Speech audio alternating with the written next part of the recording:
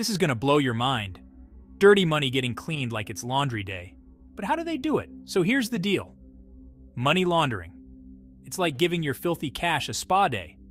The process? Simple but sneaky. First, we have placement.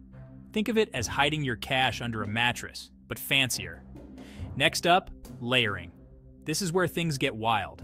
Imagine playing a shell game with your money. You move it through banks, businesses, and even casinos to confuse the heck out of everyone. Fraudsters often use offshore accounts and complex financial instruments to hide the money trail.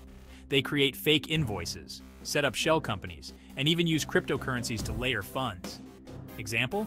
In 2012, HSBC got caught up in a scandal, moving billions for drug cartels. Oops. Finally, integration. This is when dirty money looks so legit it's almost blushing. It's invested in real estate, luxury cars, you name it. Boom. It's part of the economy now. The impact? It's like termites in your house. Silent but destructive. It hurts businesses, fuels crime, and messes with the economy.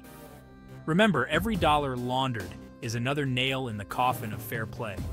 Banks fight back with advanced security systems and transaction monitoring to catch suspicious activities. They employ compliance officers and use anti-money laundering software to track and report shady transactions.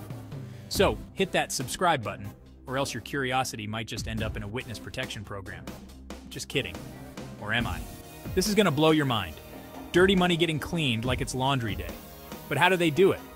So here's the deal. Money laundering. It's like giving your filthy cash a spa day. The process? Simple but sneaky. First, we have placement. Think of it as hiding your cash under a mattress, but fancier. Next up, layering. This is where things get wild. Imagine playing a shell game with your money. You move it through banks, businesses, and even casinos to confuse the heck out of everyone.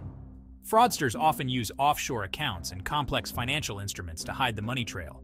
They create fake invoices, set up shell companies, and even use cryptocurrencies to layer funds. Imagine a drug cartel earning millions in cash. First, they place the funds by depositing small amounts into various bank accounts to avoid detection. Finally, integration. This is when dirty money looks so legit it's almost blushing.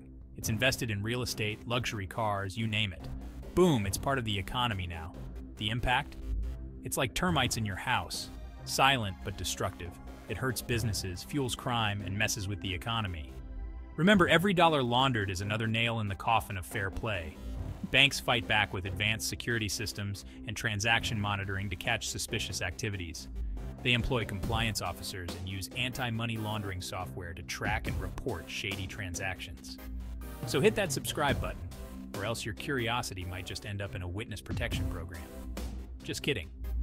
Or am I? In 2018, Danske Bank was involved in a massive money laundering scandal. Over 200 billion euros of suspicious transactions flowed through its Estonian branch. This case highlights the complexity and scale of modern money laundering operations. Imagine this. A small branch of a bank in Estonia becomes the epicenter of one of the largest financial scandals in history. That's right. Danske Bank's Estonian branch saw money flowing in from Russia, Azerbaijan, and Moldova, just to name a few. High-ranking officials resigned, the bank faced billions in fines, and trust in financial institutions took a nosedive. Don't forget to like and subscribe for more eye-opening content. Stay informed, stay curious.